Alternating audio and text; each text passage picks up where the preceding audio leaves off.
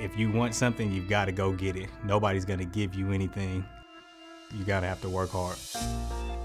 The hurdles, uh, first of all, I'm thankful that they exist because if there wasn't hurdles in track and field, I'd definitely be circulating my resume for sure.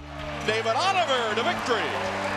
The hurdles, it is a metaphor for life. I mean, every time you negotiate one, another one pops up. We all face them in life.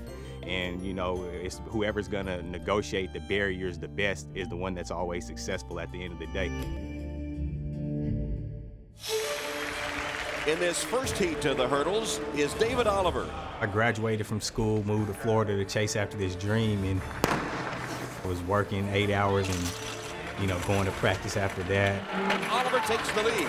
Oliver wins, Payne second. David Oliver into the finals just building my my status up, you know, year by year, just trying to climb the ranks. He said he was so broke he used to survive on rice and pancake mix back in 05 and 06.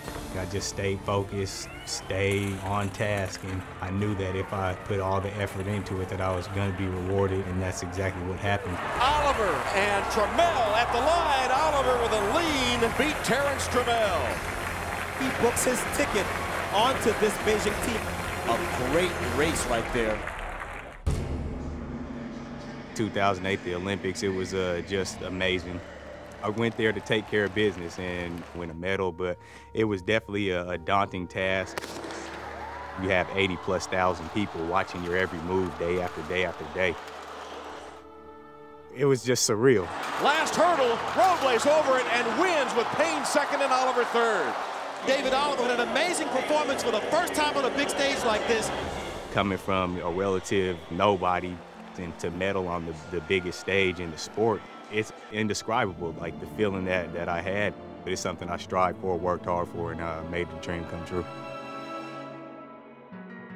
Four years, it's flown by pretty fast. Things have changed. I've progressed up the ladder set American records in the event and been one of the, the fastest guys since Beijing. David Oliver, 12.89. Whoa! David Oliver almost breaking the world record. I think all the things that I've done, the successes that I've reached, that I believe anybody can do it. You just got to stick with it and work hard. Now, going into 2012, I definitely want to uh, upgrade that bronze medal.